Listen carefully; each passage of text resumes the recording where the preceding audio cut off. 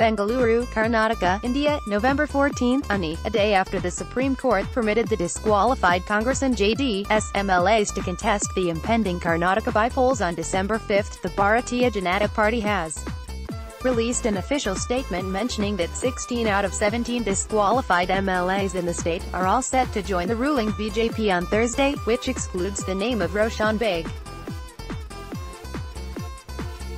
On Wednesday, sources shared that the BJP is open to the prospect of fielding all 17 disqualified Karnataka MLAs for the upcoming by-polls in the state. The top leadership, including BJP chief Amit Shah and working president JP Nadda, have given their go-ahead for fielding the disqualified MLAs from their erstwhile seats, sources said. The decision was reportedly taken at a high-level meeting held today, in which senior state leaders were also present. The by-polls in the state will be held on 15 out of the 17 seats on December 5, according to sources. Roshan Baig's name could not be included in BJP till he gets a clean chit in IMA Ponzi scam.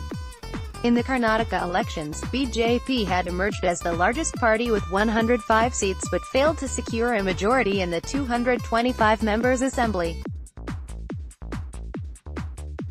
The party is expecting that the by-polls on the 15 seats will boost their tally in the state.